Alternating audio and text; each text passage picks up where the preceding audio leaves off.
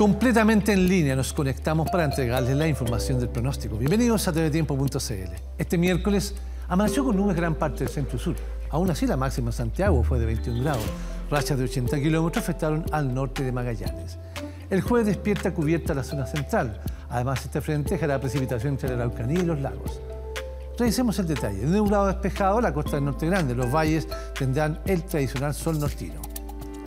Atacama espera una tarde soleada de mar a cordillera. Nublado estará por la mañana por de mar de Coquimbo. Luego quedará con escasas nubes.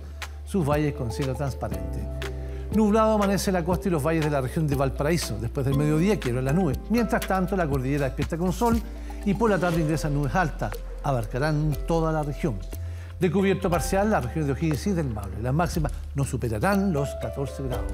Y nublado el día en Ñuble Biobío, con probable llovizna matinal en la región penquista, la Araucanía, cielo cubierto con algunos chubascos aislados. Bajan las máximas. Más al sur, habrá que tener los impermeables a mano en los ríos y los lagos, porque se espera lluvia débil con probables tormentas en Chiloé. El extremo austral, Aysén, precipitaciones, mientras que en Magallanes, lluvia débil con racha de hasta 100 kilómetros por hora. Los pronósticos insulares, nublado el archipiélago Juan Fernández, en tanto Rapa Nui siguen los chubascos aislados y la península antártica con agua-nieve.